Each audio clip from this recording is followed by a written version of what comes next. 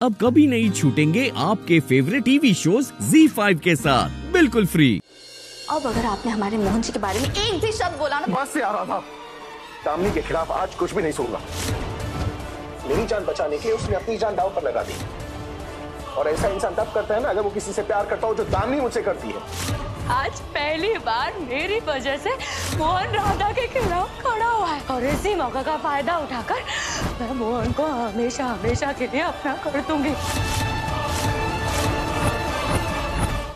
Z5 app download करें और देखें सारे एपिसोड्स बिल्कुल फ्री